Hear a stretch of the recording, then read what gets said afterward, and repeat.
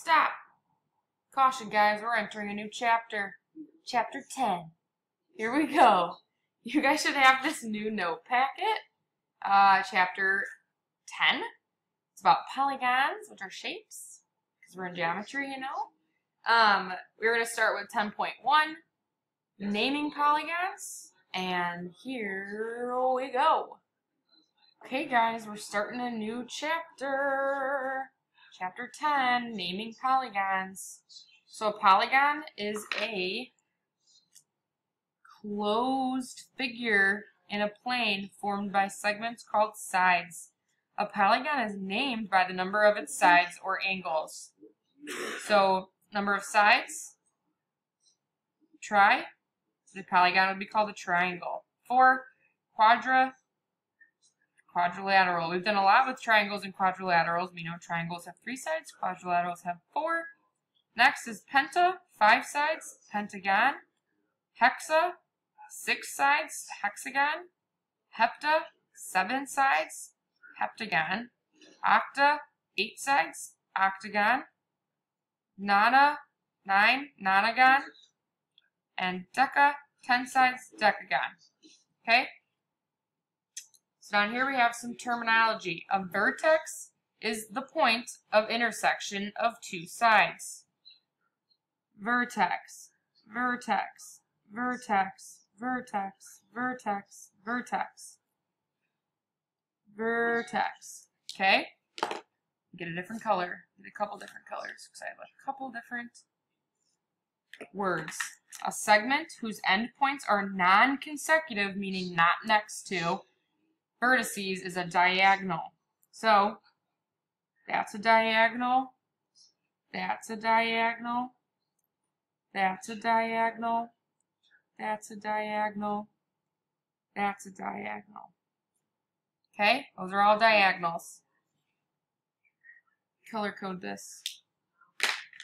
Consecutive vertices means they are next to.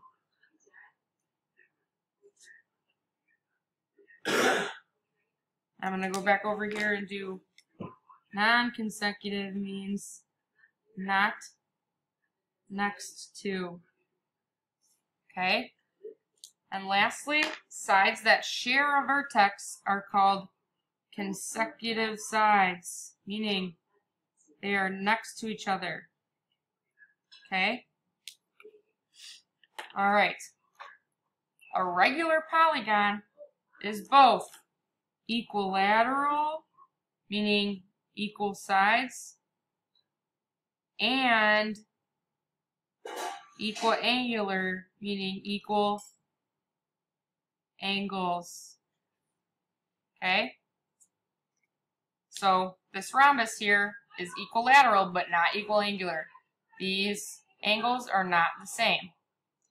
This, one, two, three, four, five, six, that is a hexagon, is equiangular. All the angles are equal, but the sides are not. And this one, this triangle, is regular. All sides are equal, and all angles are equal. Okay? Alright. Now we're going to take what we learned and apply it. Use the figure below to answer the following questions. Identify polygon LMNOPQRS by its sides. I'm going to count. One, two, three, four, five, six, seven, eight. I know eight, octa, eight sides, octagon. So this is in, oops, can't spell, octagon. Because it has eight sides. I'm going to write this for myself and so you guys can see and remember. Okay?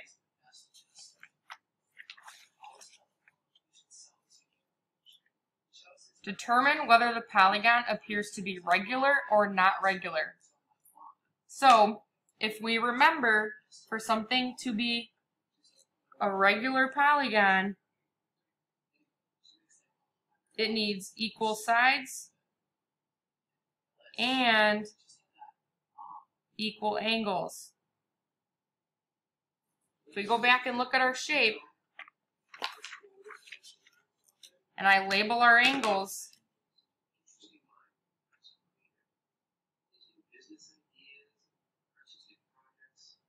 Are all these angles the same? Whoops, not even looking at the right thing. There you go. Label the angles. Sorry about that.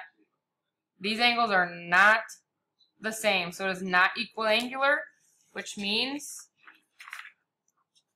right, whoever said that, it's not regular because not oops, equal angular. All right. And now we need to name two non-consecutive, which means not next to sides of this shape. So I'm going to turn back to my picture.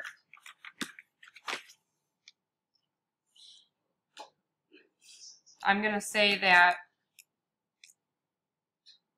MN and OP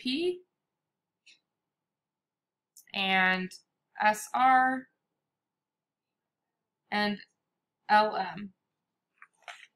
So I'm going to do MN and OP and SR and LM.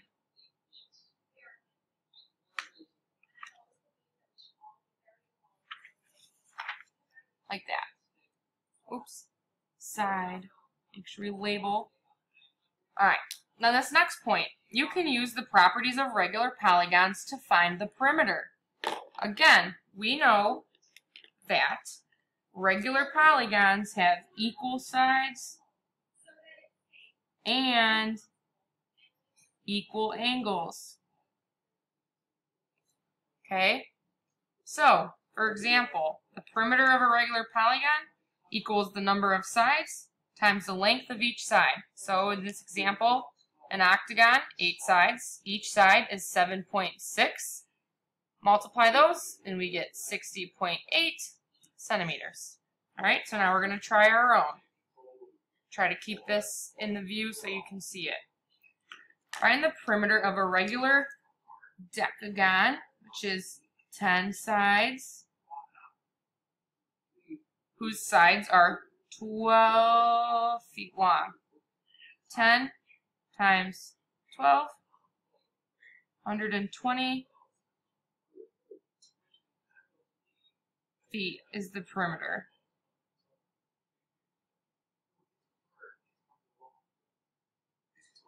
Alrighty? That one's pretty easy. Alright. A polygon can also be classified as convex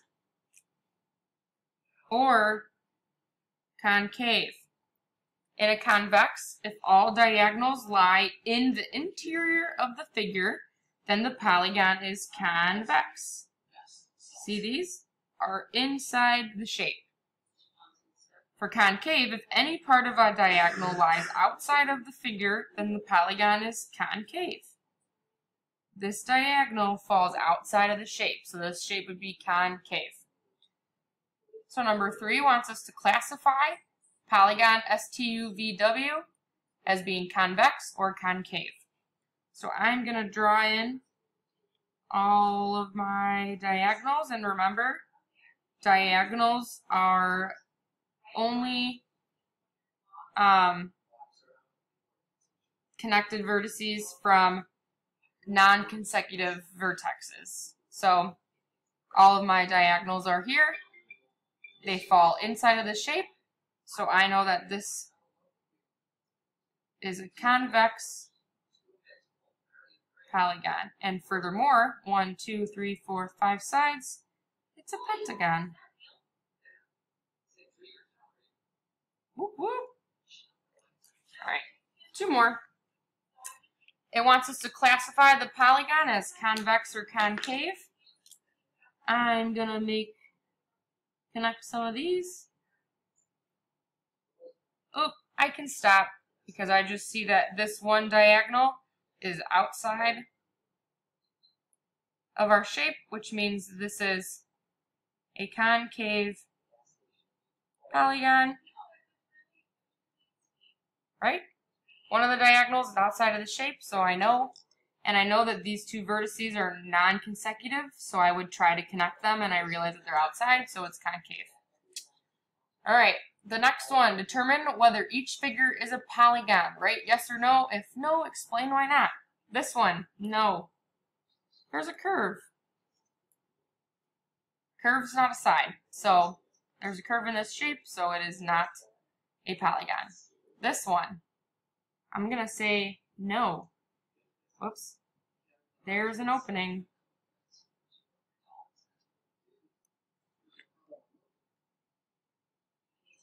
If we remember, polygons are closed figures. There's a big gap right there, so this is not a polygon. Alright guys, that's it for naming polygons. Next time we're going to do angles of polygons, and before that we're going to do a zoom to go over your homework for this chapter section 10.1, and we will see you on our next zoom. Please have your homework done. Peace out. Bye.